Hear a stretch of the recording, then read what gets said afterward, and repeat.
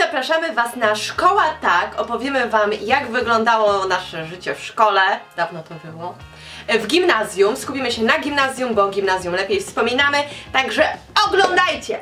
No dobra, znalazłyśmy na jakimś blogu 15 pytań dotyczących szkoły. Lecimy. O której wstajesz do szkoły? Albo o której wstawałaś w naszym przypadku?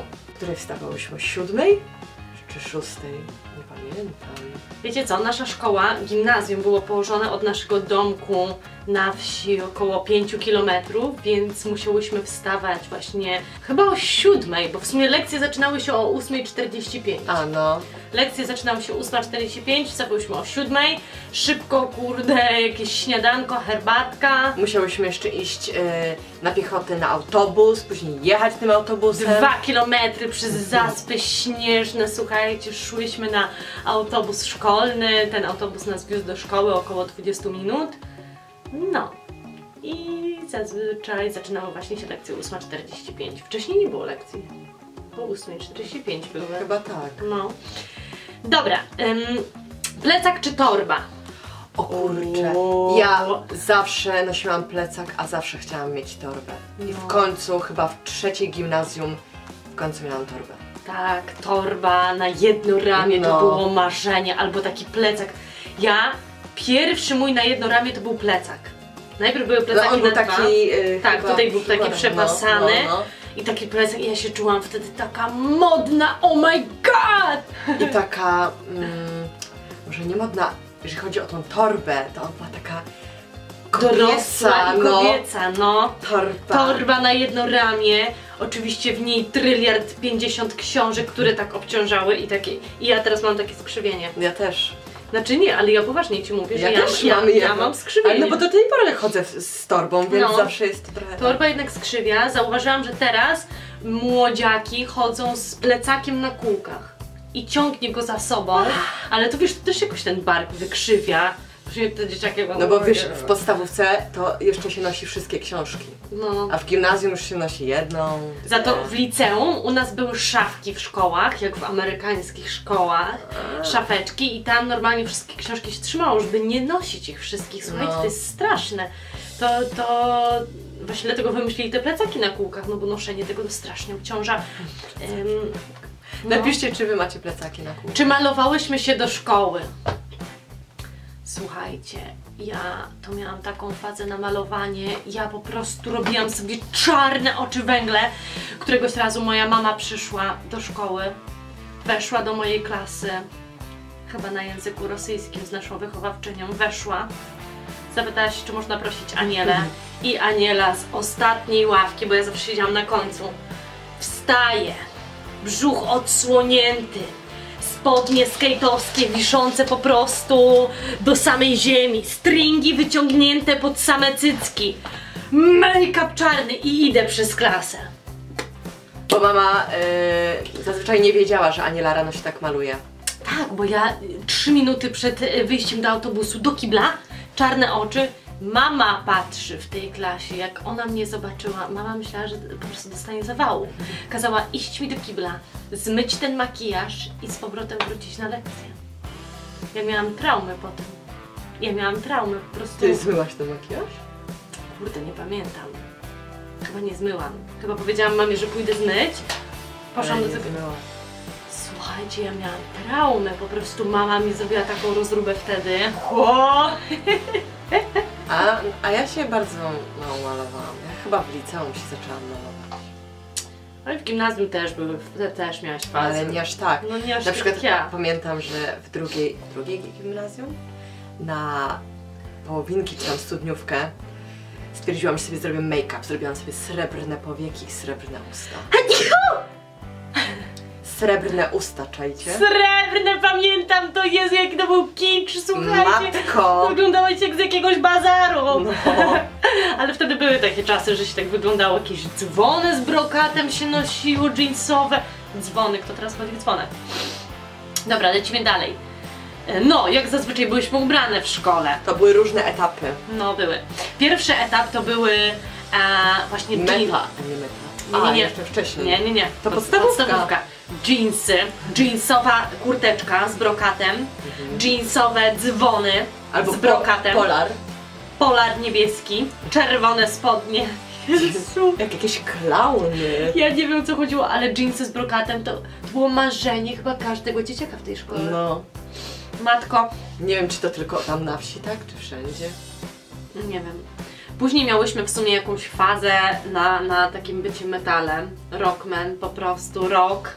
No. Pieszczochy, te łańcuchy Tak, wszędzie. ćwieki, pff, tak, czarne stroje. No i ja oczywiście też miałam fazę na bycie skatem, spodnie skate'owskie, tylko takim seksownym skatem, czapeczka, kurde, normalnie. Nie, nie wiem o co chodziło z tymi wyciągniętymi stringami. No bo ja czułam się taka dorosła, taka... Wyzwolona chyba. A, to ja byłam zboczona też bardzo, dalej W jestem. gimnazjum. No. Czy jadłyśmy w szkole drugie śniadanie?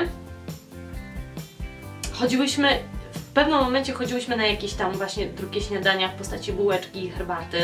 Tam były w szkole takie. Mhm. Ale- Kurczę, nie pamiętam. Ale nie, mama nam dawała kanapki do szkoły.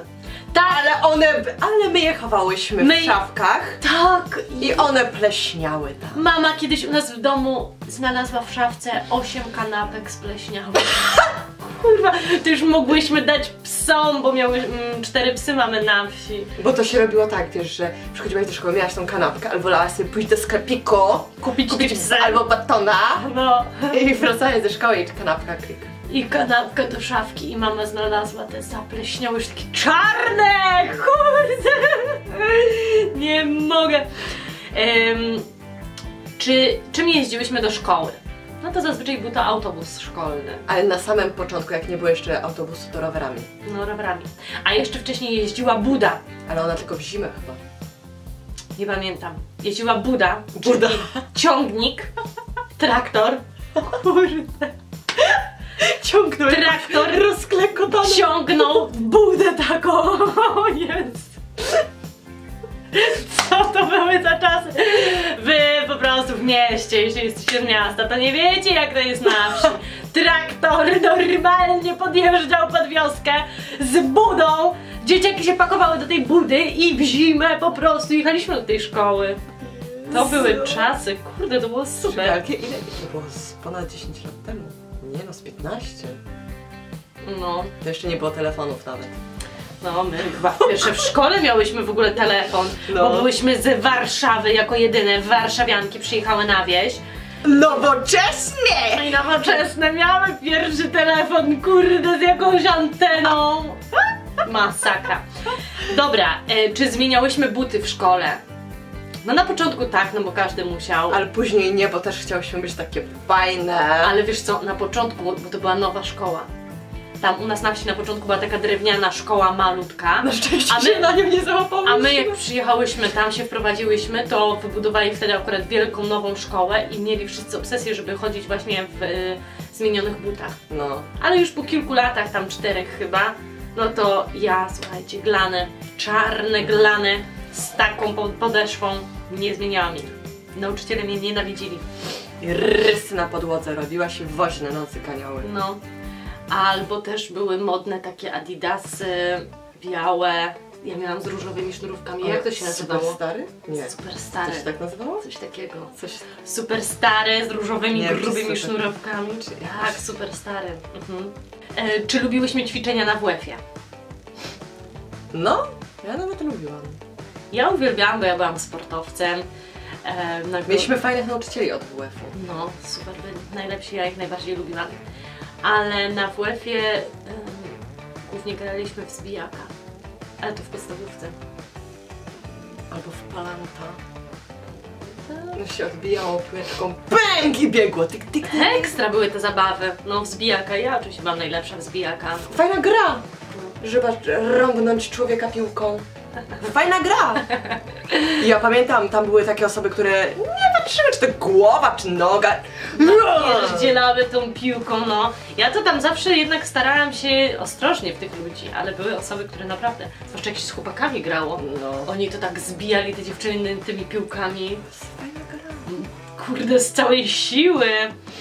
No dobra, i mm, jak czuj, czujesz się w swojej szkole? Jak czułyśmy się w szkole? No w gimnazjum to my byłyśmy, kurde, pania Kuro! guru szkoły. Czy czekaj, ja byłam jakoś przewodniczącą, czy nie? Ale prowadziłyśmy gazetkę szkolną. O kurczę, no właśnie to było fenomenalne, bo ja byłam takim, ja się zadawałam z tymi bardzo złymi ludźmi, byłam taka, takim guru szkoły z tej złej strony. Wszyscy nauczyciele mnie znali, na dywaniku to po prostu co drugi dzień, ale, ale prowadziłam gazetkę szkolną. Dobrze się uczyłam, więc w sumie dobrze się czułyśmy. Ja się czułam dobrze w tamtej szkole. Ja nie mogłam, słuchajcie, ja nienawidziłam wakacji, bo ja chciałam iść do szkoły. I ja miałam takie etapy, naprawdę. No, To- było chore. W gimnazjum bardzo dobrze się czułyśmy. I ja w ogóle nie miałam wtedy jakiejś akcji, żeby wagarować. No bo tam nie było nawet Nie było gdzie. gdzie, do No. lasu. No dobra, piszcie, czy Wam się odcinek podobał. E, spróbujcie też odpowiedzieć na te pytania w komentarzach. Tak po jednym zdaniu bardzo chętnie posłuchamy, jak wygląda Wasze życie w szkole. Kciuki w górę zostawcie, subskrybujcie kanał. Kochamy Was, żegnamy się z Wami. Buziaki. Pa!